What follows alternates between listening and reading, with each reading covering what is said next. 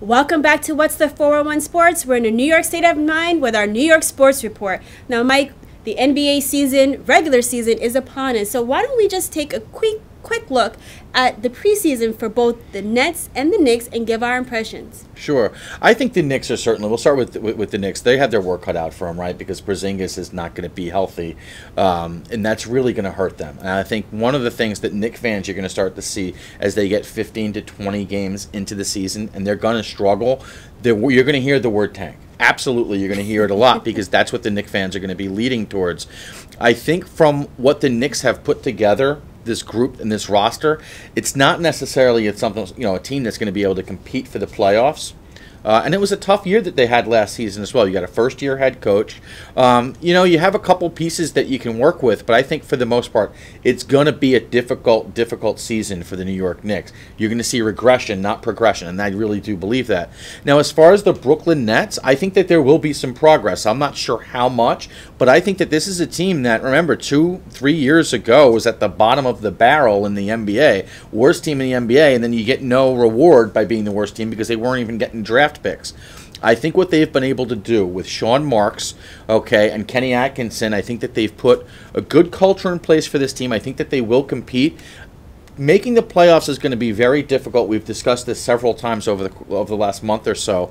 Um, how you know what the the expectations will be for the for the Brooklyn Nets, um, but I think this is a team that, despite these dismal records that they've put out the last couple of seasons, there have been some games that they've competed in. And I don't mean just against like some of the other poor teams in the NBA, even against some of the good teams. So I think that the expectations for the Nets should be a little bit more optimistic than it is across the river for the Knicks.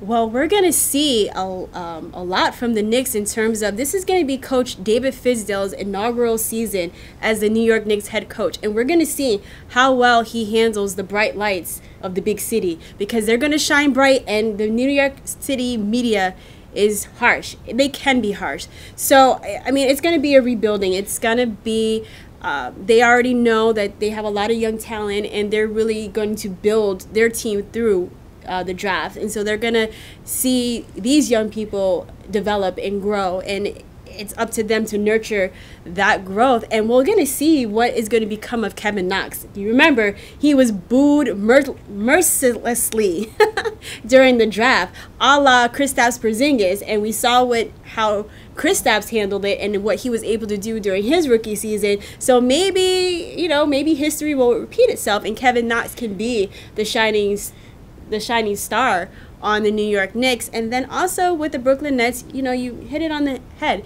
This is a team that's rebuilding and they're they're getting better each season. It's going to be incremental. We're not going to really talk playoffs because I just don't think that's realistic. But they're definitely in position to win more games this coming season than last. They have a lot of depth on the team, a lot of ball handlers, a lot of shooters, and Kenny Atkinson is really um, harping on defense. And it is believed that D'Angelo Russell will have a breakout season. Like this will be the the year for him. Brooklyn hopes so. right.